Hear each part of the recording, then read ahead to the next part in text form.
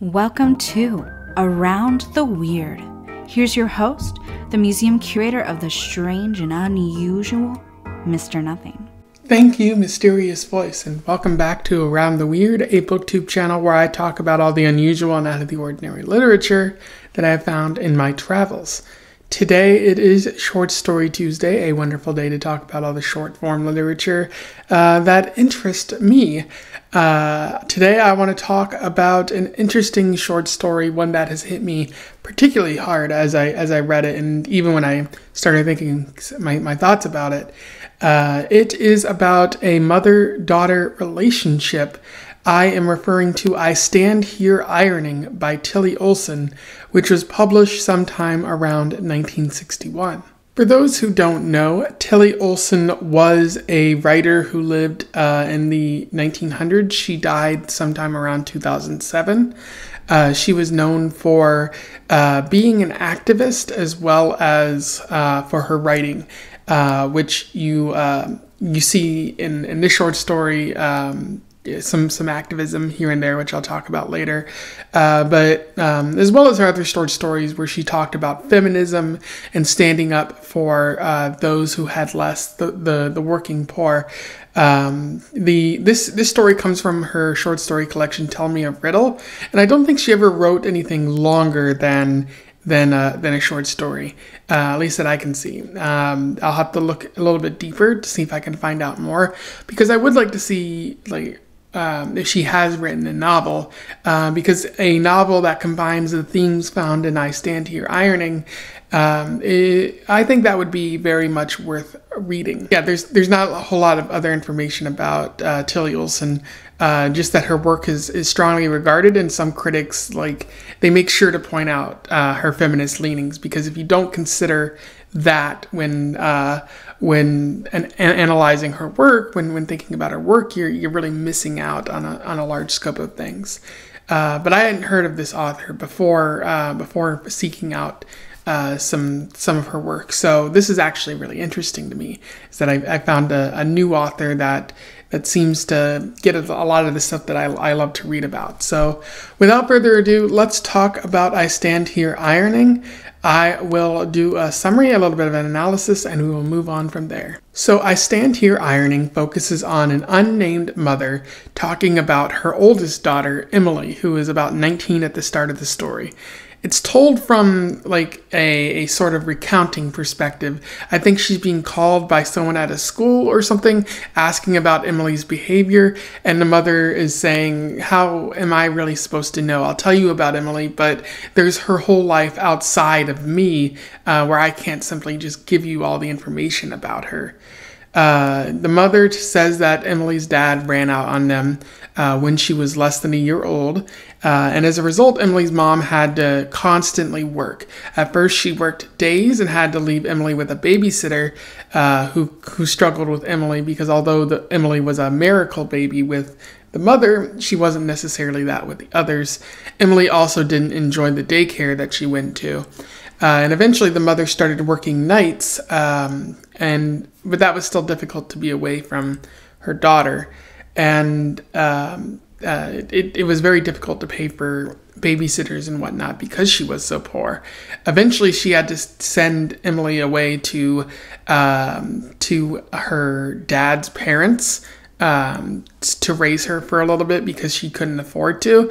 But she was able to bring Emily back eventually and uh, Emily is is is seen as shy and smiling and, and filled, filled with some joy uh, at, at various points in this story. With the mom noting that uh, she should have really um, incited this joy, like built upon it, and and furthered it by providing her daughter with opportunities, but she just didn't have the time uh, the mom was too busy with work and everything trying to make a life for for Emily. So when Emily was like, "Oh, can I stay home?" or uh, "Mom, don't go to work," uh, or like "Don't go to the hospital" or something like that because the mom was pregnant, uh, she couldn't really do that for for Emily. And as the mom starts having more children, things become a little uh, murky for Emily because it, although her, the mom still loves all the children, I think Emily senses that she doesn't have as much love for for one uh, reason or another. But the mom does note that like she does love all her children equally, and it, the unusual thing is that she is she's able to help the younger kids more because she's learning from her mistakes with Emily. Unfortunately, because Emily isn't eating or something like that, uh, the the clinic, the hospital. Uh, convinces the mom to send her to a convalescent home, which is a nursing home, which is a weird place to send a, a child at such a young age.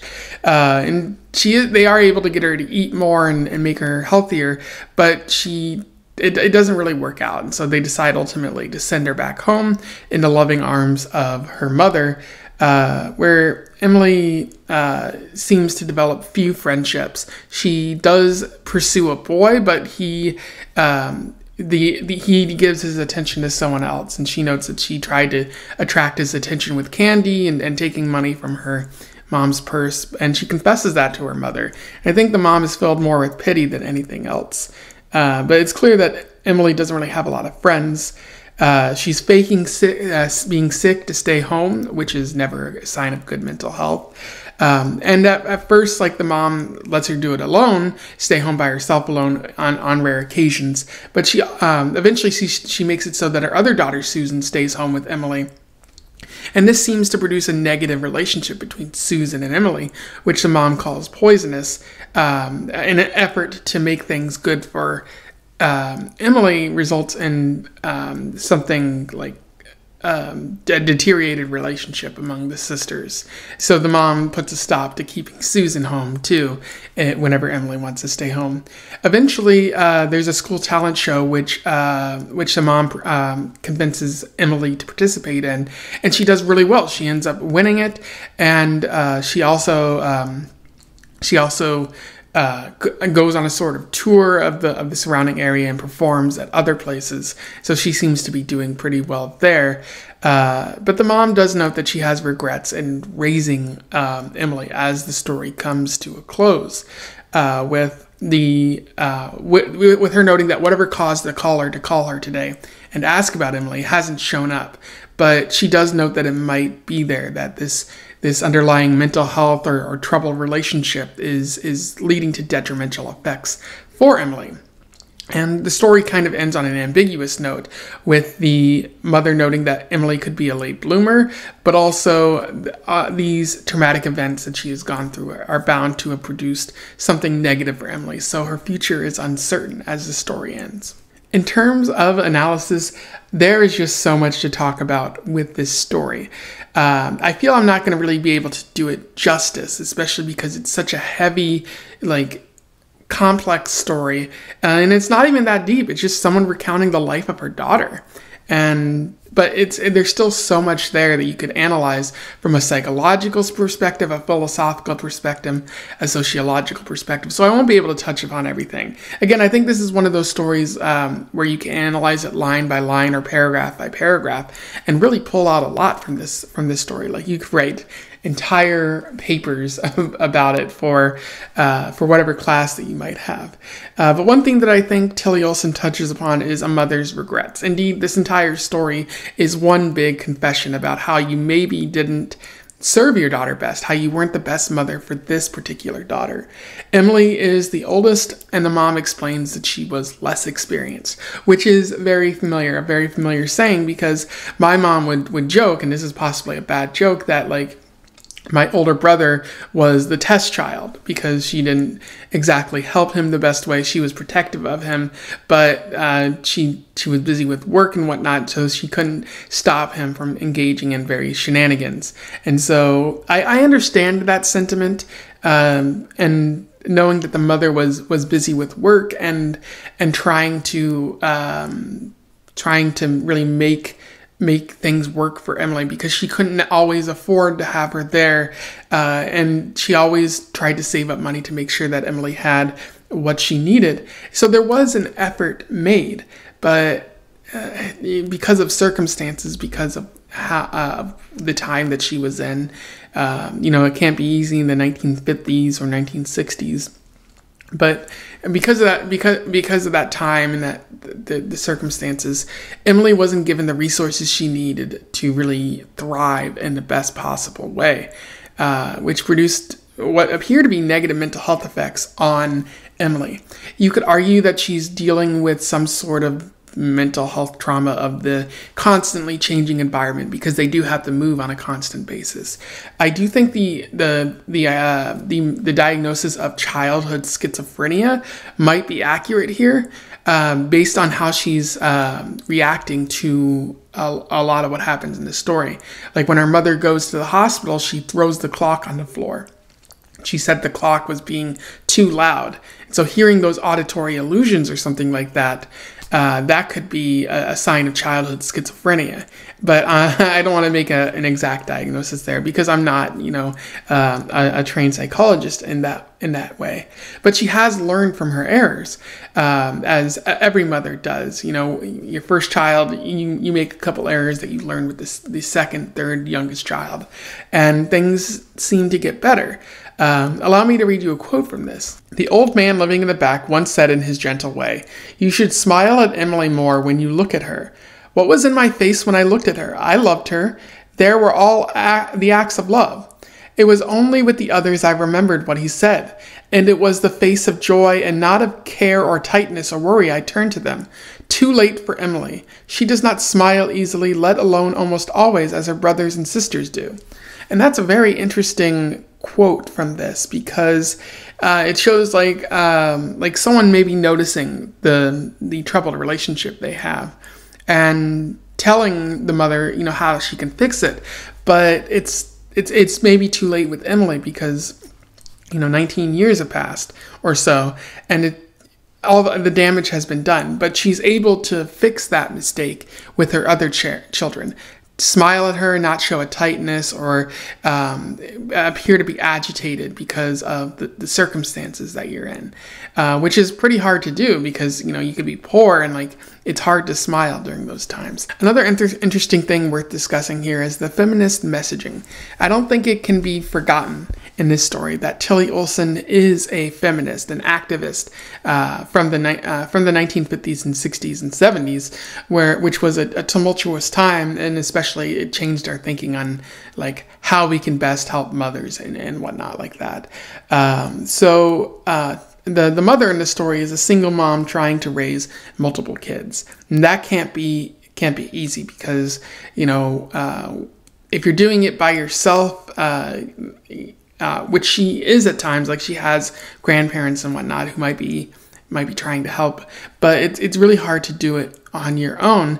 Uh, there are so many expectations there of of earning the money to help your your kids thrive, but also being a doting mom, which is what society wants you to be, especially in the 1950s and 1960s.